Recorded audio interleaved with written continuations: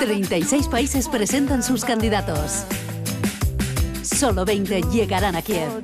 Descubre quiénes serán los rivales de Manel Navarro. Semifinales de Eurovisión 2017. El martes y el jueves a las 9 de la noche en la 2.